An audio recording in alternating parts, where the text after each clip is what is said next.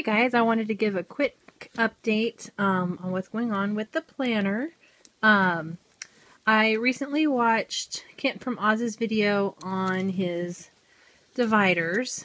Um, and he did one where he had used, um, I don't know, some sort of clear, almost like a flyleaf material and washi tape. And um, I have some clear folders that I had purchased to use as dividers. And so what I did was I, I cut it down to size and then I cut um, this length off. And then on the inside I have post-it notes.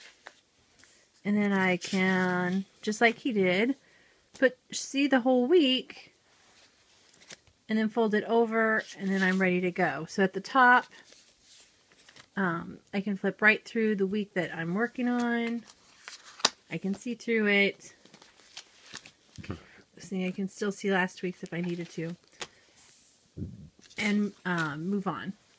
So I wanted to say thanks to Kent from Oz for the idea. It's working out great. Have a good night.